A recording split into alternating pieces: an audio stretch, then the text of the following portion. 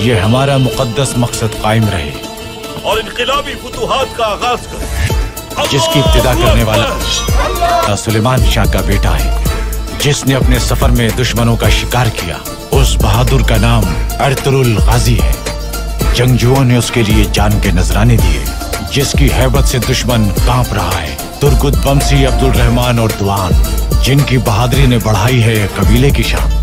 Ibnul अरबी की दुआओं का समर है ये। कारा जैसार किले की दीवारें तो था पहाड़ भी हमारे आगे नहीं ठहर कारा जैसार किले का फैसला अब हम करेंगे। अल्लाह हमेशा रहे हमारे लश्कर का निगहबान दिली तमीर और शहदा रखते सफ़र बाँध चुके कुपे को उसके हवारी मुँह की खा चुके तलवार जिन हाथों में हो, वो कायम रहे बहादुर अपनी ताकत को पहचान चुके हाइमा खानम कबीले की अजमत का निशान।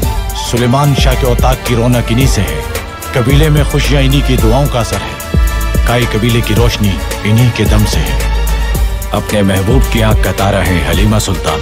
अपने खावंद का गुरूर है हलीमा सुल्तान। हमारे सरदार की हिम्मत है हलीमा सुल्तान। इनकी नस्ल बढ़ाएगी काय की शान।